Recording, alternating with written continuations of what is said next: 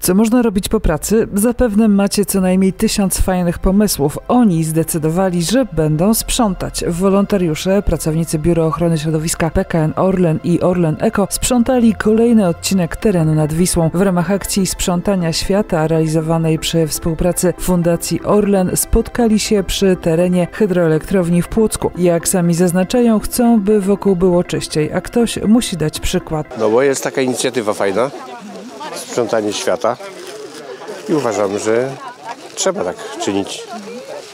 A poza tym no, jest taka też integracyjna możliwość. No pewnie, pewnie, że trzeba sprzątać. Wszędzie trzeba sprzątać. Zawsze znajdą się jakieś e, śmieci, bo ludzie nie pilnują porządków, tak? Bardzo jest dużo. Ludzie nie dbają, rzucają wszystko, gdzie popadnie.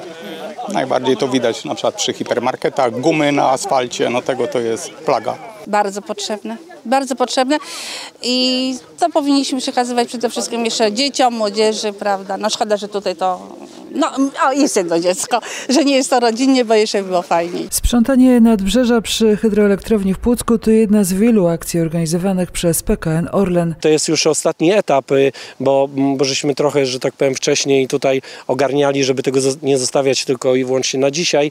E, e, Ten teren był tak, y, powiedzmy, już e, trochę, e, trochę przez nas o, o, ogarnięty. To było około tam chyba 24 worków, które już, już żeśmy wywieźli. Natomiast no, dzisiaj nastawiamy się na tą e, e, drugą część, e, która która, e, do której tam trochę e, gorszy jest dostęp, tak? czyli tutaj jak rurociąg naporowy e, z e, zrzutu e, e, ścieków oczyszczonych do Wisły, tak? to tamtą stronę chcemy e, e, e, posprzątać. I chodzi o to, żeby po prostu no, faktycznie było czysto, tak? To, to, to jak gdyby e, e, jedna rzecz, a druga, no to też myślę, że taka, takie zmienianie trochę e, świadomości ludzi, że, że mamy wpływ na to, tak? Że jak idziemy innym, e, e, in, e, w innych miejscach, powiedzmy wzdłuż Wisły, to, to możemy o tym samym pomyśleć, tak? Że, że warto było, żeby było czysto, że można też coś tam, tam zrobić. Także no, myślę, że, że w przyszłym roku jak się tutaj spotkamy, to będzie nas więcej, tak? I być może właśnie zaprosimy, czy to z organizacji ekologicznych, tak? Miasta, czy, czy, czy powiedzmy samych mieszkańców mo, mo, możemy zaprosić, tak? I, i, i zrobić taką integrację. Także myślę, że to, to, to byłoby fajne. Tej akcji pomagali również strażacy z OSP Konopiska koło Częstochowy. Widzę, że ma pan parasolkę i dużo innych gadżetów w swoim e, worku ze śmieciami. Udało E, się zebrać nawet skarpetki, jakieś majtki znalazłem, no i ogólnie kupę butelek, plastików, puszek. Jest pan z bardzo daleka. Od Płocka to ładnych kilkaset kilometrów. Czemu akurat pan dzisiaj tutaj przyjechał sprzątać? Dotarliśmy tutaj z Konopisk, y, to jest gmina spod Częstochowy. Y, Dotarliśmy tutaj dlatego, że Orlen nas pomaga, też y, działamy wspólnie.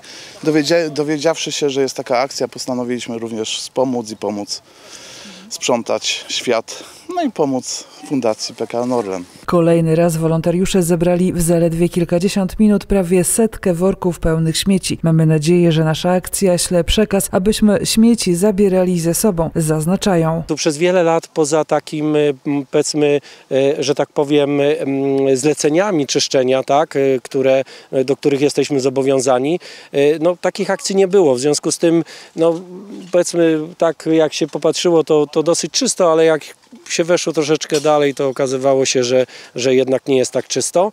E, e, I zauważyłem, że chyba ludzie tak na to zwracają uwagę, że jednak no jak jest czysto, to może warto to, co przyniosłem, to zabrać ze sobą, a nie zostawiać tutaj, tym bardziej, że, że za, za, za, chwilę e, no, przyjdzie ponownie tak i miło jest, jak jest czysto po prostu. Tak, tak. Kolejna akcja sprzątania zaplanowana jest na przyszły rok. Niewykluczone, że zaproszenie do udziału w niej otrzymają również mieszkańcy Płocka. Warto przypomnieć, że w ramach wolontariatu pracowniczego PKN Orlen od wielu lat w Płocku pracownicy włączają się w różnego rodzaju projekty. To m.in. akcje nasadzeń drzew czy tworzenie łąk kwietnych.